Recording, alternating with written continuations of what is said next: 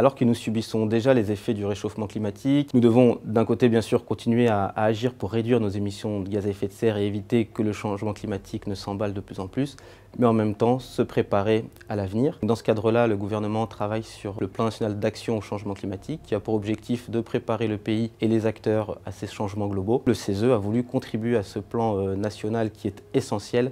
pour assurer à la fois que l'on fasse les bons choix dès aujourd'hui, les bons investissements, les bons aménagements et qu'on prépare des plans de gestion de crise puisque l'on sait que les impacts vont être de plus en plus importants et donc préparons-nous à l'avenir. La France n'est pas prête à faire face à un changement climatique qui va atteindre plus 2 degrés en 2030 et plus 4 degrés d'ici la fin du siècle. Adapter la France à ces nouvelles trajectoires climatiques impose un véritable changement de paradigme de repenser l'ensemble de notre système, de nos organisations, en faisant attention aux plus fragiles, aux plus exposés. Le double défi du changement climatique est de mener à la fois des mesures d'atténuation pour agir sur les causes du changement climatique et des mesures d'adaptation pour traiter les conséquences du changement climatique. Le CESE souhaite que l'adaptation soit inscrite dans la loi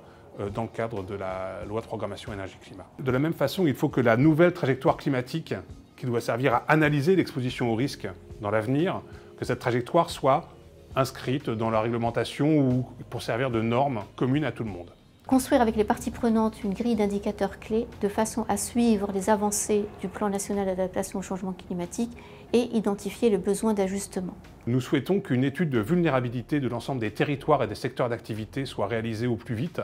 afin de savoir où nous en sommes par rapport à ces risques et comment mettre en place, dès que possible, des plans d'action pour limiter l'exposition à ces risques et améliorer leurs gestions éventuelles. Prendre en compte les risques de maladaptation est un enjeu d'efficacité des politiques publiques et un enjeu de justice sociale. En effet, des politiques d'adaptation mal calibrées peuvent aboutir à une augmentation des émissions de gaz à effet de serre, à un report de vulnérabilité sur d'autres acteurs ou tout simplement à un moindre bien-être